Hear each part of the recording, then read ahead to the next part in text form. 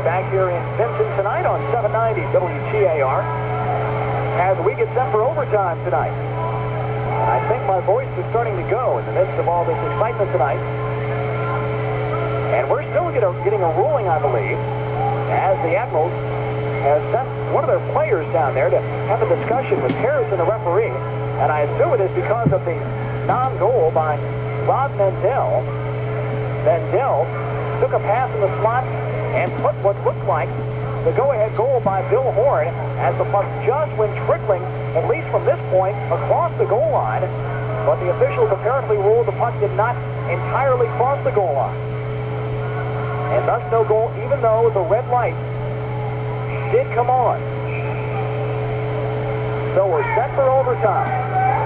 For the third time in as many games with the Admirals playing in this building.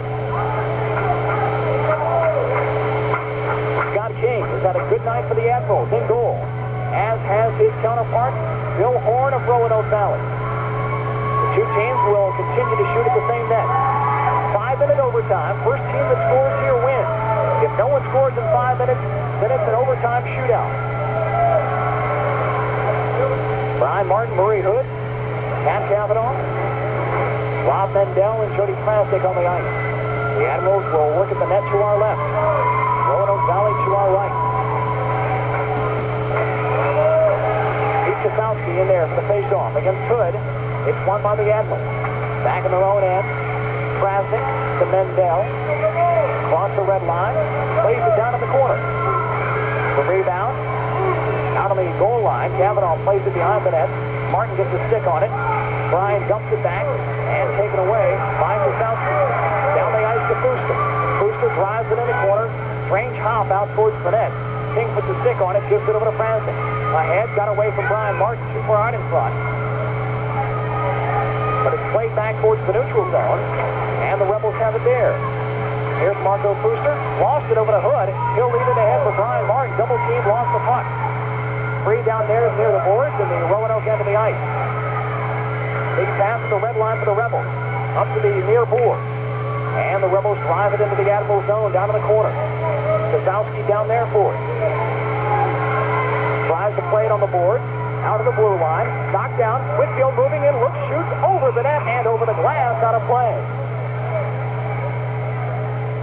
That one looked like that Pete Stoyanovich field goal last weekend. Just up, up, and kept going.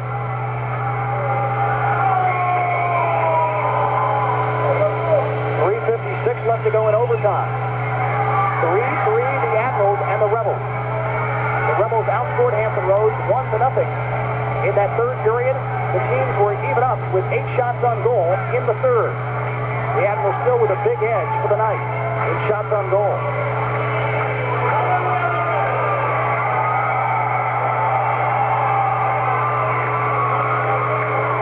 Face off almost in the slot here on the Admirals end. Just on the inside of the circle.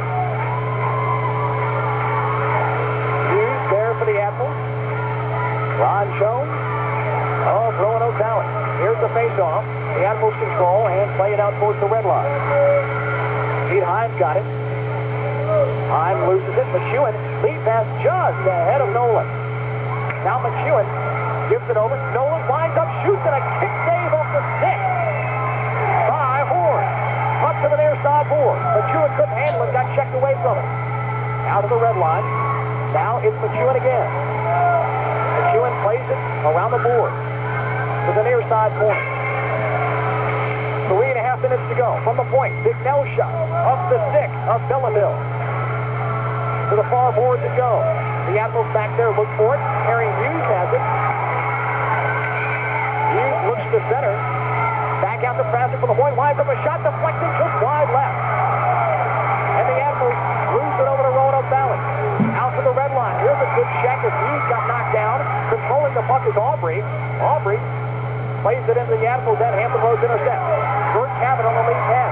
Drops it back. Bignell winds up from the blue line. Fires it into the corner. The Rebels play it out towards center ice. With it there is O'Sheridan. Michael Sheridan on the left side wing winds up, shoots, and a save by Scott King, who jumps on top of the puck. 2.38 left to go until overtime. 3-3 tie. with us tonight on 790 WTAR. It has been worth the while. So far.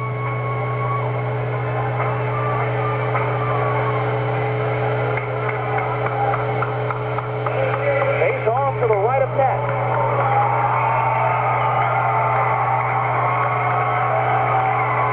In the corner it goes. Mendel plays it to Hawley, lost it at the blue line. The red line, the Rebels take it. Played in the Admiral zone. 2.29 left to go in overtime. Bignell with the puck. Up ahead to Hawley. Hawley lost it on the board. Punches it into the neutral zone. The Rebels play it from there at the red line. With the puck, Michael Sheridan. Gives it over to Simeon. Simeon lead pass in the crease. Nobody there. Back in the corner it goes. Bignell plays it for the Admirals to Brian Martin. Martin across the blue line, dumps it ahead. Wilson and the Rebels keep it in. The Admirals take it. Here's Martin, leading for Hood. Murray on the breakaway, moves in. And he got knocked off the puck finally from behind. Murray Hood at the breakaway, and Michael Sheridan made up a lot of ground in a hurry, finally catching Hood from behind and just getting his stick in there to knock the puck away. A marvelous play by O'Sheridan. The goal came off his mooring. So we'll get another face-off as they set things back up. A minute 52 to go in overtime. 3-3 tie.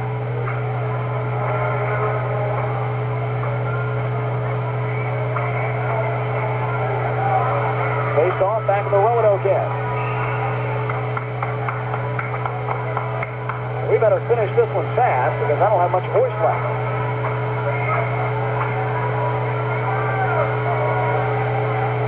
Harry Muse for the Admirals on the faceoff. The puck is still not down. Now it is. Lost it.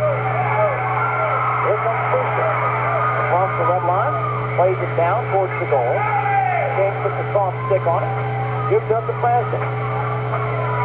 Minute 35 to go in overtime. Krasnick comes out in front of his own net.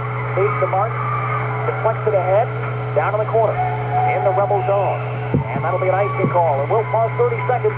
Back with the final minute 29 of overtime right after this. 3-3 is the score still. 1 minute 29 seconds to go in overtime. Face off the Hampton Roads end. Controlled by the Admiral. Kurt Cabot on the lead of Brian Martin across the red line. Martin across the blue line. Streaking down the wing. Stops there in the corner. Controls the puck. Now moves behind the goal line. Looks to center. Gets checked off the play. Puck free back there. In the corner goes again. Trying to dig it out. The Rebels control. And they'll play the length of the ice. And if the Admirals win the race, this will be another face-off. But moving down there is Belleville. Belleville got his stick on the puck, so it's no icing. Back behind Burnett. They've got it. Here's a wrap wraparound attempt. Just wide right of the crease. 57 seconds to go in overtime. Loose puck behind Burnett. Roanoke's got it. Trying to move it out is Aubrey. In the right side corner, he sends it. Stopping there with it. Aubrey still in control. And the whistle blows. Away from the it became tied up on the board.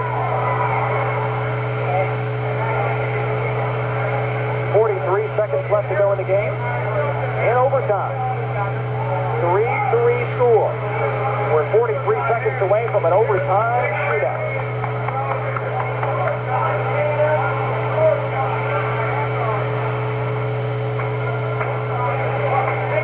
And we've got another timeout call here. I believe this one by John Brophy. So we'll pause 30 seconds. We're back with the finish of overtime. After this, this is Admiral Hockey on WTAR. In Vinton with the vocal cords quickly fading away. Still 43 seconds to go in overtime. And perhaps an overtime shootout. 3-3 is our score. We'll face-off here in the Hampton Roads end to the right of goaltender Scott King. Scotty looking for his eighth win on the year against four defeats. He's played a good one tonight, as has Bill Horn of Roanoke Valley. Ken Hall against the face-off. Chokes up on that stick. Against Krasowski. Puck down, played into the corner. The Admirals have it. Mendel behind his own net. Check hard into the glass, off the puck, it's tied up there and the whistle blows. This has been a very clean game. Only six penalties have been called all night. They have all been minors. And a couple of those have been coincidental minors. 36 seconds left to go in overtime. Face off in the end once again. And Hawley against the South. It's in the corner. Krasnick drives it around the board to Murray Hood. Hood ahead to Martin at the red line.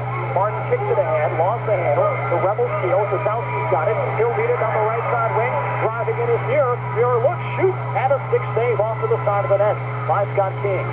Into the corner goes to the deflection. The Admirals Brian Martin has it. 13 seconds to go in overtime. He'll backhand at the length of the ice. This should be an icing call. They come down and touch the puck with five seconds to go, they'll wave off the icing here. Carey intercepted in his own zone. Gives it to Murray Hood. He couldn't handle it. And the clock expires. And we're set for an overtime shootout. We're back with that after a 30-second break. 3-3 tie. This is Admirals Hockey on WTAR. Period. The Admirals outshot 3 to 1 by the Rebels. 3-3 tie at the end of overtime. So we're off to an overtime shootout. Heath Michaud on 790 WTAR here in Vinton tonight. If you're not familiar with the shootout, here's what happens. Each team selects five skaters to go one-on-one against the opposing goaltender. Whichever team tallies the most goals among those five wins. Should we still be tied after five shooters for each team, then each team will alternate one shooter apiece until we have a team go ahead and win this game.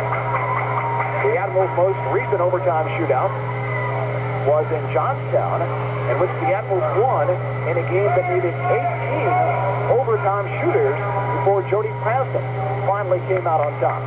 Now let's see what sort of strategy John Brophy goes with. Usually when you're on the road in a shootout, the goal is to get the early lead. And for that reason, Brophy has been having Brian Martin shoot first. But it will not be Martin. Kent Hawley is the lone man on the ice. So I assume he will get the first crack for the Admirals. Just like the home team in baseball, the home team in the overtime shootout always gets the last chance. The Admirals will send one, then Roanoke will send one, the Admirals will send number two, and vice versa, until each team has sent five.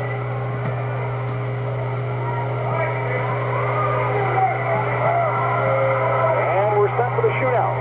As the puck is placed at center ice, Bill Horn waits down in between the pipes to our left. Here comes Ken Hawley. Hawley down the ice, takes the puck, moves straight ahead. Looks, stops, fakes, shoots, scores. What a nice shot. Ken Hawley puts it in, and the Admirals lead the shootout one to nothing. Hawley got Horn to commit, then moved to his left and backhanded it over the outstretched Horn for the goal. Now it's Wayne Muir for Roanoke Valley. He's had a good game tonight. The team's leading scorer, he's got one goal. Here comes Muir. He takes the puck, on Scott King. In the slot, stop, fake, shoot, missed it wide left. He tried the exact same shot that Hawley did, moving to the side of the net and trying to backhand one in, but he missed it wide left. Next for the Admirals, Harry Muse. One shooter down for each team in the overtime shootout, and the Admirals have one goal to Roanoke's none. Here comes Music. He's got two goals tonight. Music, straight ahead. Stick handling. Look, stop, shoot, push it wide left.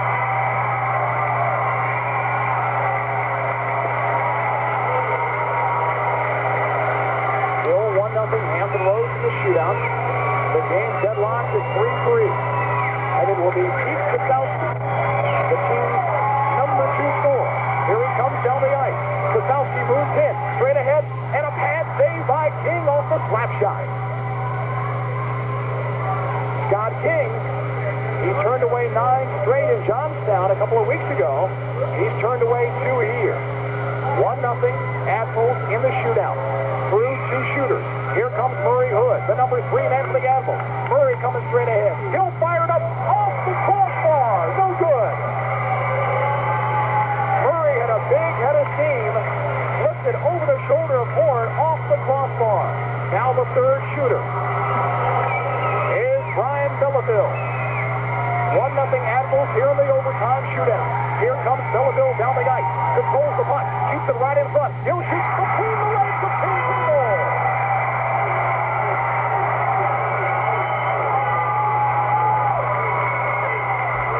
Three shooters down for each team. Tied up at 1-1. Belleville scores for the Rebels. Now Brian Martin, the fourth shooter for the Admirals. Here comes Brian. Down the ice. Straight ahead. Pulls it to his left. Shoots and a save. Right off the leg pad of Bill Horn. Now the fourth shooter will be Marco Booster for the Roanoke Valley Rebels. Tied up at 1-1 in the shootout. Here comes Booster. He's got the puck at the red line. Across the blue line. Straight ahead. Holds it to his right. Shoots and a glove save by King. A quick wrister by Booster, but King saves it. Each team with one shooter left now. Still tied at one goal each. Billy Nolan will shoot down for the Admirals. Nolan, the right-hander, comes ahead, holds the puck to his left, now out in front, stops, fakes, backhander, score! Billy Nolan! Two Admirals lead the shootout, and Roanoke with just one shooter left. If King makes the save, the Apples win, and it will be Captain Ron Jones. Jones needs a goal to force the shootout into a continuance. Here comes Jones. He's got the puck. Holds it to his left. Moves in from the left side. Stops, fakes, backhander to save by King. And the Admirals win the game overtime shootout. Scott King turns away Ron Jones in the overtime shootout. And the final score tonight in the shootout, the Hampton Roads Admirals 4 and the Roanoke Valley Rebels 3. We're back with our post-game wrap-up from Vinton right after this. This is Admirals Hockey on WTAR. Here in Vinton, Virginia tonight, and a thriller indeed, as you might be able to tell from the worsening condition of my voice here. The Admirals win it in the overtime shootout by a score of 4 to 3. The Admirals are credited with one team goal for the overtime shootout as the Admirals score with their first and last participant in the shootout. The Admirals getting scores from Ken Hawley and Billy Nolan, while Brian Belleville is able to score for Roanoke Valley. And that is the lone overtime shootout goal on Scott King. For the game, the Admirals outshot the Rebels 42 to 27. And for the third time in as many games here in this building between these two teams, the game goes to overtime. But for the first time this year, the Admirals win it by a tally of 4 to 3 in the shootout. We were deadlocked at 1-1 at the end of one. The Admirals grabbed a 3-2 lead at the end of two. The Rebels scored the lone goal in the third period to tie it up at 3-3. Neither team could score in the overtime, so we went to the shootout, and the Admirals win the shootout 2-1 and the game by a score of 4-3. The Admirals in action tomorrow night as they take on the Erie Panthers. Back at Scope, 7.30 is the game time, 7.15 airtime. We're back to talk about that and more, and we'll name our three stars of the game when we continue and wrap things up from Vinton right after a 60-second break. This is Admiral Hockey on WTAR. 1971. And the Hampton Roads Admirals have beaten the Roanoke Valley Rebels in the overtime shootout by a score of 4 to 3. As we said, the Admirals out shooting the Rebels 42 to 27. A season low in penalty minutes for Hampton Roads, just four minutes in tonight's game. And if we name our three stars of the game, our number three star tonight will be Billy Nolan of Hampton Roads. It was Nolan, the fifth and final skater in the overtime shootout, put in what turned to be the game winner for the Admirals tonight. Our number two star of the game is Admirals goaltender Scott King. King had 24 saves on the night and turned away four of five in the shootout to lead the Admirals to the victory. And the number one star of the game tonight is Admirals center Harry Muse. Muse had two goals, the first two of the night for the Admirals in the victory, as Muse pushes his season total to 14 goals and 36 points. And Harry Muse, for being named our Texaco star of the game, receives $10 in fine Texaco products. Well, the Admirals are back in action tomorrow night against Erie, 7.30 at Scope, 7.15 for the airtime. Then on Wednesday night, back home again against Erie, and that's the uh, 16th. And once again, 7.30 is face-off, as well an away game stuck in there on Saturday night. down in Greensboro, and WTAR will have coverage of that one for you as well.